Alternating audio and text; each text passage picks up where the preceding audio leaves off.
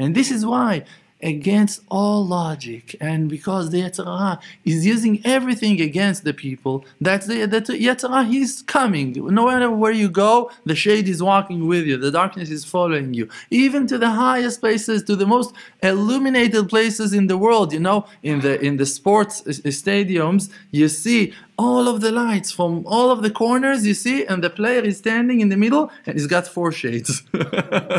So much light so four shades you have because you you came to a place that now you you everything is illuminating.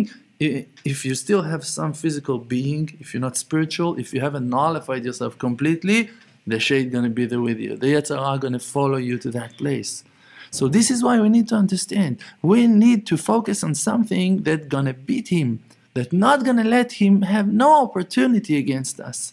So Yetzer Hara is using every situation to come in every situation, he is pushing himself into the picture also. And if you want to serve Hashem Yitbarach, so he cannot tell you, hey, come, let's sin, hey, go party. No, you're gonna say, no, for sure, no, I'm not, I'm not, it's not my my my my issue in life. I I, I choose to serve Hashem. So he have to hide himself inside of the mitzvot. He have to trick you. He have to give you advice and reasons to sin without knowing that it's actually a sin.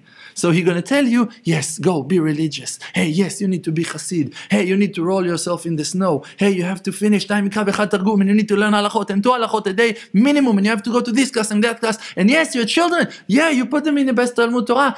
Okay, now you can forget about them. Go, complete your kedusha. Go, work on your eyes. Go do this. Your children, no. Your wife, she's crying. No, okay, she's you know that she's problematic. Okay, move on. And and and then you lost the main part of your life that it's your wife and your children. Those are the people that you need to bring all of the shefa, all of the purity, all of the wisdom, all of the light that you purchased in Avodat Hashem, that you received from the loving kindness of Hashem. You need to hand it to the next generation. That's your wife and your children. If you abandon them in the Talmud Torah and in, and in, in the house to do whatever is, they have their own obligations. They need to learn now. They need to prepare themselves to real life. No, no, no. It's your mitzvah. They're not commanded at all. You cannot command them. They're exempt from everything. Your wife, she's exempt of everything. Try to check. She's exempt from everything. Halacha is exempting her from everything.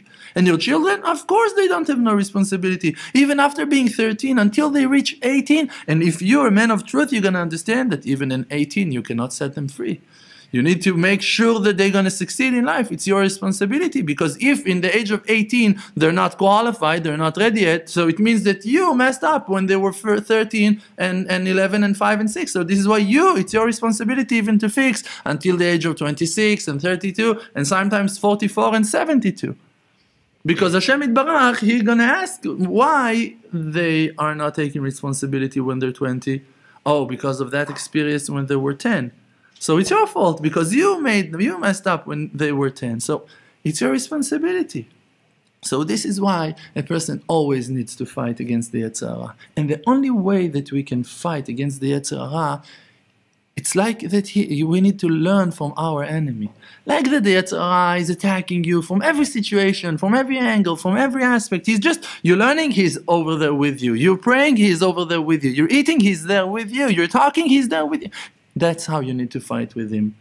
In every situation, you need to bring Hashem Yitbarach to the picture. And that's the only solution because if you're going to try to fight and to argue and to investigate and to find ways how to beat the Yetzer Hara on the eating, on the Tavat Achila, on the desire for food, you're going to lose your mind on that concept. Gonna gonna gonna gonna gonna gonna wrap you like a like a like a a, a, a rattlesnake he, he's just gonna wrap you. He's gonna come all around you. The faith needs to surround you. You need to be covered with faith all around from every angle to know it's all Hashem.